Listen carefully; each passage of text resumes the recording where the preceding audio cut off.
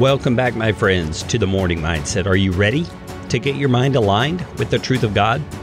Now, as we endeavor to do that every day, we come upon passages at times as we walk systematically through the scriptures that we have to admit to ourselves are a bit confusing.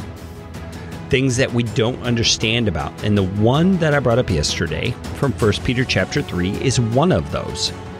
It's a passage that tells a story or tells about a situation that we don't hear about anywhere else in the scriptures. And so all we have to go on in understanding the topic that it brings up is what is right here before us in this passage. This is 1 Peter chapter 3, and we've been looking at verses 19 and 20. And Peter has revealed to us, kind of like a, a movie premiere, it's the first time we ever hear about it in Scripture, that when Jesus died, he was made alive in the spirit. So naturally, he was still alive in his spirit. And he went and proclaimed something to the spirits in prison. Okay, and that's the first we ever heard of this concept that there are spirits in prison.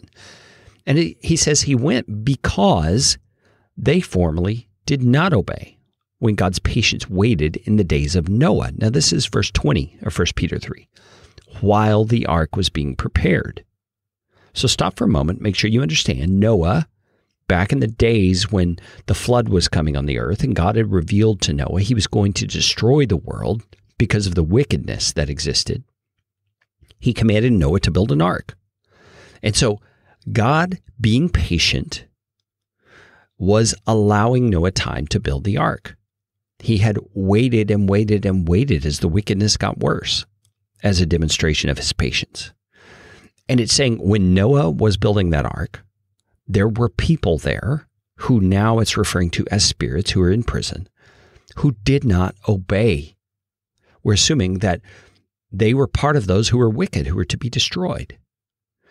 And it's saying that Jesus went and preached to the spirits of those people in prison somewhere. Now, what does this say to us today? I mean, it's kind of an odd story. It feels strange to us simply because it's so unfamiliar. We don't hear about this anywhere else. What does this say to us today? Well, there's a couple of things that come to my mind.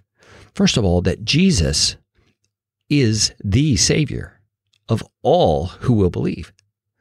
So, if Jesus went back, I'm not saying if in a in a way in which I doubt it. I'm just saying if Jesus went back and preached to the spirits of those who rebelled against God in a former time, it's because Jesus is the only one who could bring about any change in their circumstance. Jesus is the Savior. There's none other. Well, another thing here is that it reminds me that God has answers to all the difficult quandaries that come up in our minds. You see, because sometimes we wonder, well, what about people who never hear about Jesus? Are they saved? What about people in deepest, darkest Africa who don't get a chance to know about the gospel? Can they be saved?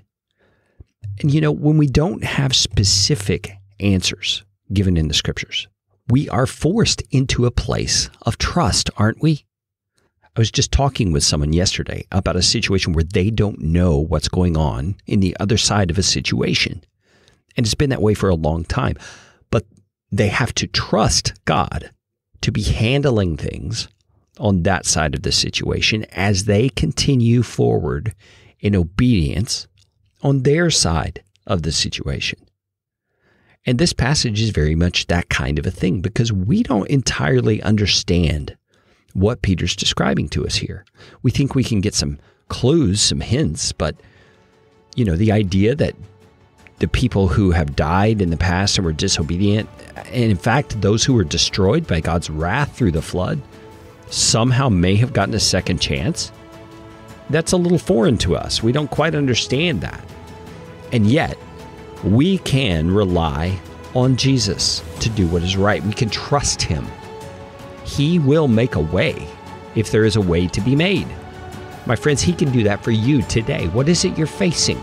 Trust him in the things that you don't understand. And join me again tomorrow for the morning mindset. And tell a friend.